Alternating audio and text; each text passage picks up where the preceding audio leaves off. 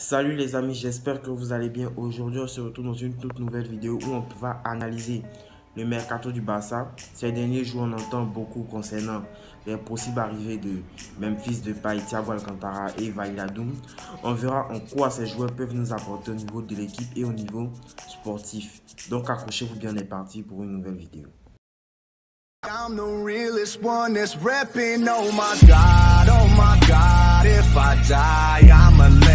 When they lay me down to rest, I know I was always.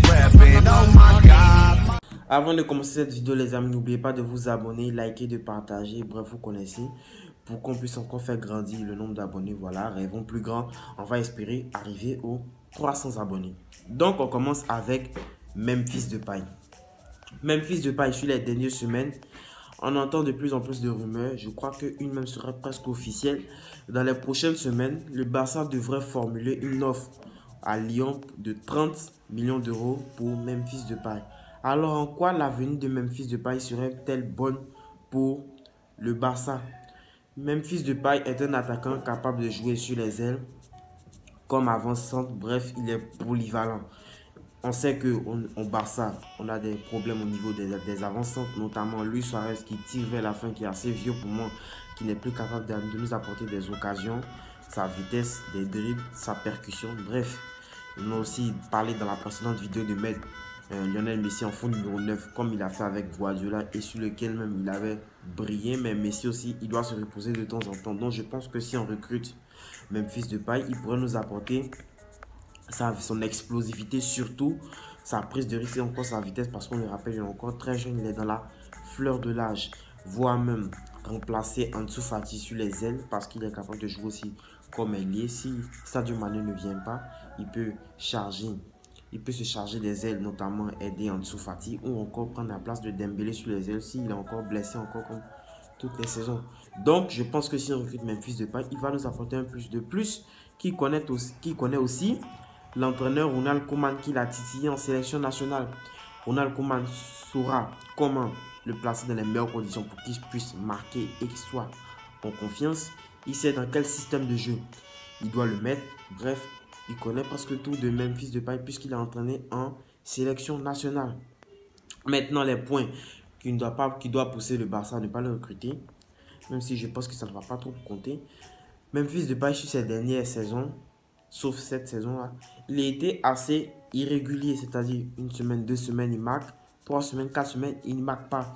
C'est ce qui a poussé les grandes écuries surtout à ne pas recruter Memphis Depay qui voulait jouer dans le grand club. On le rappelle lors de sa dans son interview de la saison 2018-2019, il avait donné une interview à un journaliste où il disait qu'il voulait intégrer un grand club, mais tu ne peux pas intégrer un grand club quand tu es irrégulier comme même fils de paille. Mais cette saison, je pense que ça va. Il a été assez régulier. Il a joué un rôle prépondérant dans l'épopée européenne de Lyon. Donc je pense qu'il peut prétendre à une place au Barça. Et le Barça aussi n'a surtout pas intérêt à se tromper dans les profits parce que ça, ça fera trop. Lui, le Barça, sur ces dernières saisons à côté, euh, qui s'avérait un, un, flop, mais qui est parti, qui a explosé au Bayern. Dembélé qui a explosé à Borussia Dortmund mais qui vient, qui est venu au Barça et qui a enchaîné les blessures. Arthur Melo qui a été recruté, je ne sais pour combien de millions d'euros pour remplacer Iniesta, qui a foutu le bordel et qui va partir, qui est parti à la Juventus. Bref, le Barça a fait assez d'erreurs au niveau des castings. Donc je ne pense qu'il ne doit pas se tromper, surtout sur le cas Memphis de paille. Voilà selon moi les raisons qui pourraient pousser le Barça éventuellement à ne pas recruter Memphis de paille parce qu'il ne faudrait pas qu'on se trompe dans les castings. Voilà. Au niveau aussi de Thiago Alcantara, Thiago Alcantara, s'il vient au Barça, je ne suis pas sûr qu'il viendra au Barça. on se le rappelle, on a maltraité, si je puis dire, son frère Rafinha. On a maltraité, il n'a pas joué très souvent. On l'a traité, on l'a maltraité. Donc je ne pense pas que ça puisse pousser Rafinha, euh, Thiago Alcantara à venir jouer dans notre club. Et de plus, s'il vient dans notre club, il va prétendre un plus gros, euh, je vais dire, challenge. Il va demander une grande place de titulaire, il va être titulaire presque à tous les matchs. Maintenant, il faut quand on recrute des joueurs, il faut qu'ils soient venu pour faire de la compétition aux autres joueurs. Je parle bien évidemment aussi de Coutinho qui est parti au Bayern de Munich et qui a gagné la Champions League qui va prétendre un plus grand avantage au Barça. Maintenant, il devra se battre selon moi avec Griezmann s'il joue pour apporter, euh, pour faire la créativité du jeu. Mais si Thiago Alcantara doit venir au Barça, il doit venir et il doit gagner sa place. Ça, c'est indéniable. Il ne va pas venir parce qu'il a gagné la Champions League, venir s'imposer directement. De plus, Thiago Alcantara, on le sait, il peut nous apporter offensivement. C'est une bête, ce gars. Il peut nous apporter offensivement comme aussi défensivement, comme il a fait avec le Bayern de Munich ces dernières années. On se rappelle encore de, la demi-finale face au Real Madrid, de cette finale face au Paris Saint-Germain, encore de la demi-finale face à nous, Barcelone. Je pense qu'il pourrait nous apporter éventuellement au niveau de l'attaque comme au niveau de la défense. Voilà pourquoi on doit recruter selon moi Thiago Alcantara. Je pense que tous les écuries vont se, vont se battre, notamment le Paris Saint-Germain aussi qui souhaite le recruter ou encore Liverpool. Je pense que tout le monde va se battre sur Thiago Alcantara parce que c'est un joueur qui peut nous apporter énormément, surtout pour le Barça. Voilà, voilà pourquoi on doit recruter Thiago Alcantara. De plus, si on recrute des joueurs comme Thiago Alcantara et Memphis Depay, on va avoir de la qualité sur le banc. Ça va apporter de la profondeur au niveau du banc et voire même plus de quantité et aussi de la qualité parce que Memphis Depay et Thiago Alcantara, c'est de la qualité. Voilà, voilà pourquoi on doit recruter ces joueurs-là. On a aussi Van Wijnaldum. Wijnaldum, c'est qui? Wijnaldum, c'est le néerlandais qui nous a marqué un doublé face euh, au FC Barcelone lors de, son sacre en Ligue des Champions a marqué un doublé. Voilà. Il connaît aussi l'entraîneur Ronald Koeman qui titille en sélection, qui, bien sûr, il ne joue plus en sélection avec lui, mais qui connaît parfaitement Ronald Koeman, qui connaît dans le système de jeu. Euh, Ronald Koeman aussi connaît le système de jeu. Donc, il doit faire évoluer Wijnaldum pour le mettre au meilleur, pour qu'il puisse faire de bons matchs. Voilà.